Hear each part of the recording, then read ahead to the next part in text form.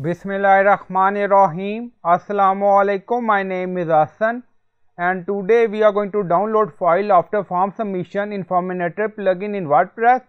Before starting work, it's my request please subscribe my channel. Thank you. Now back to our work. So we are using Forminator form plugin and we are going to download any file like PDF after form submission. Now go to edit form. So we are using this form and then on left side you see behavior so click on it. Now scroll down you see submission behavior. And then you see inline message. So click on setting icon so click on it. And then you see edit behavior so again click on it. Now pop up open. And then you see behavior. And then you see inline message. So you can modify this message according to requirement. So we added some message.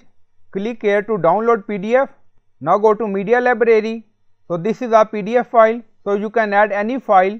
Now click on it and then you see file URL. Copy this back to form. Now you see download PDF. Now select and then you see insert edit link. So click on it. So you can add URL. Again you see link option. So click on it and then you see open link in new tab enable and then click on update. So, If you want you can make it bold and then you see auto close success message after 25 seconds. So, you can increase this time 2 to 5 seconds because we are going to show download PDF option in success message. So, click on apply and then click on update. Now, form save done. Go to form page, refresh the page. So, fill the form. So, I added some information and scroll down you see send message. So, click on it and then you see submitting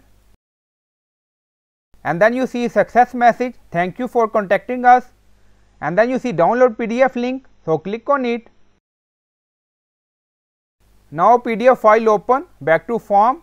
So I hope you like this video please like comment share subscribe thank you for watching.